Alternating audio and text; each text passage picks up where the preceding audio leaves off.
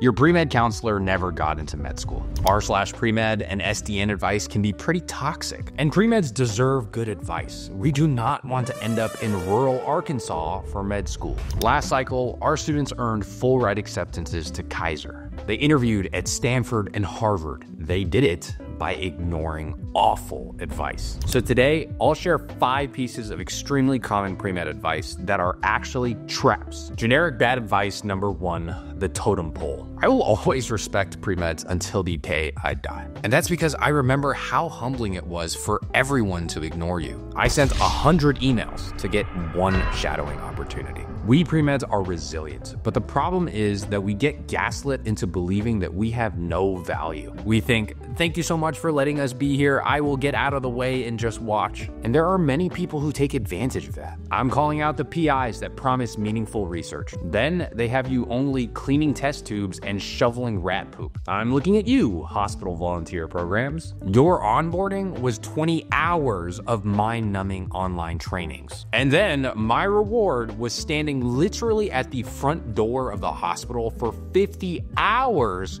just greeting people. And then I was promoted to a unit secretary where I was wiping down keyboards and transferring phone calls. No, you're not at the bottom of the totem pole. You don't have to spend 343 hours doing useless hospital volunteering like I did. You're valuable. You have passion, skills, and can work hard to make a meaningful difference. So go somewhere where you're appreciated. When you do that, you build an application around things you care about. You join people who respect for what you bring to the table. And that harmony leads to significant impact. That impact is what stands out to your dream medical schools. If you want to see what real impact looks like, look at real applications. We have eight full AMCAS applications so you know exactly what it takes to get into top medical schools. UCSF, USC, UCSD, my own UCLA application is on there. And every time we review a new application, like Sam, who earned a full ride scholarship to Kaiser this cycle,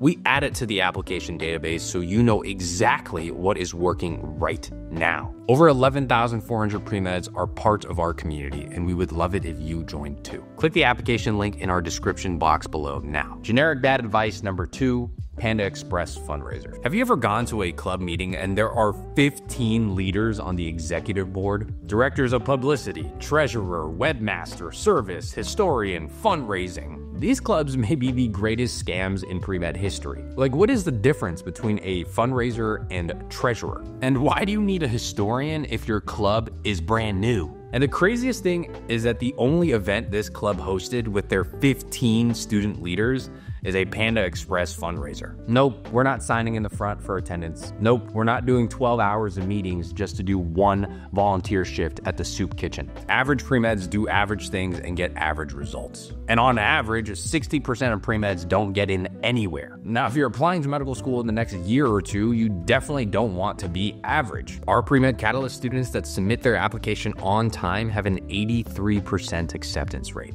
That is double the national average of 40%. And our results are because we work so closely with students. In fact, we can only take four students per month until we're full. If you'd be interested in earning full ride scholarships to Kaiser or want to interview with schools like Harvard, Mayo, Cornell, Einstein, Click the application cycle advising link to book a free strategy call before all of our spots are filled up. Generic bad advice number three snipers, not gunners. We all have that incredible pre med who makes everything about themselves. They're 98% on the midterm, their second research lab, even though they're just a freshman, their clinical experience Instagram story on New Year's Eve with a hashtag dog hours. There's just no tact. You hate them, I hate them. But honestly, there is something that I do respect, and that's the ability to shut down the egos, send the email, apply to the position. Yes, they're insufferable, but part of that is them celebrating their hard work. You don't see how lonely they felt in the library on Thursday night,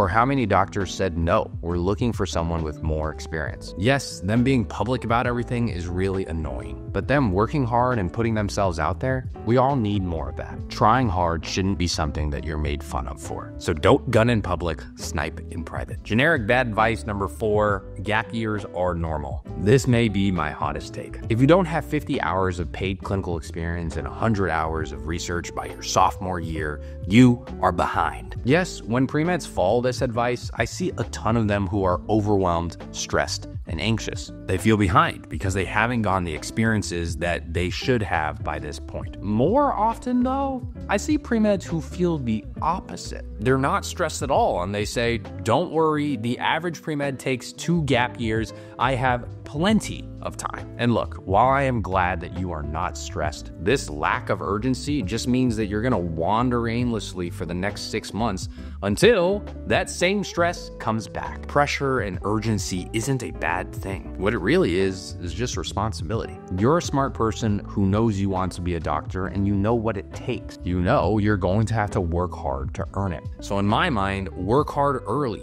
even if it means you're a little stressed. Because if you decide to take a gap year, fantastic. The key word is you get to decide. That is way better than being forced to take a gap year because you didn't take it seriously years ago and now you're not as competitive as you want to be. Generic bad advice number five it's really not cool. When I was in college, if you went to tutoring, it meant that you were a weak student. If you joined a research lab in your freshman year, you were a tryhard. In fact, your friends clowned you for it. If you decided to sleep early before a big test instead of going out on a Thursday night, you weren't invited to the next one. I'm sick of that pre med culture. I hate it. We are trying hard to become doctors. You will care for me and my loved one. You will be our country's future leaders in healthcare. And of course, that takes a lot of hard work. And there's a sickening reason why other students tear you down for trying hard. It's because your success reminds them of what they could have done. Your wins reminds them that they haven't won. They root for you until you're past them. Then they pull you down and label you as a tryhard. They say things like you've changed. Trying hard is cool. Don't let other people convince you otherwise. Those are five brutal pre med lies that you must ignore. If this helped, you'll want to know the seven brutal truths that you should listen to. That video is here. See you soon.